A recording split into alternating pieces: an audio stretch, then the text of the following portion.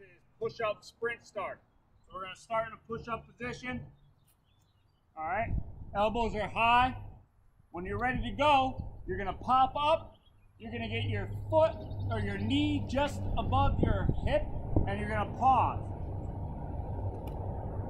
So I'm right here. I'm not too high up. I'm not too far back. All right. I have good shin angle. That ball, the foot is loaded. I pause. When I'm ready, I get out and sprint.